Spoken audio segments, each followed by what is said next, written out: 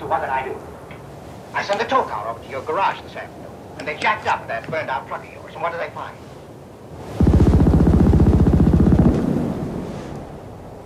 About 30 minutes ago, a gunman opened fire on a crowd of people. It was a cop's funeral, cop in the casket, cop in attendance. He got away. Who? Shooter. Shooter got away. They're saying the shooter was a militia man. Contact the other militias nearby. Tell them we didn't do it. Okay, so now the remaining cops and the inevitable military reinforcements are searching for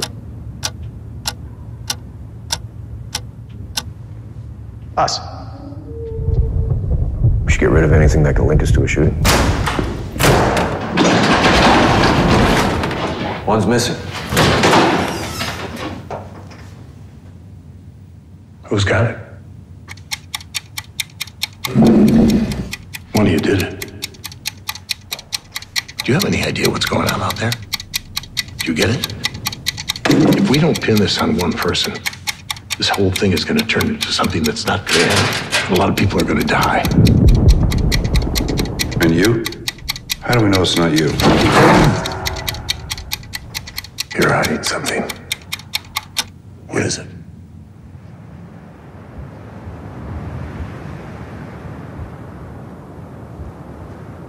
We always knew this was gonna happen.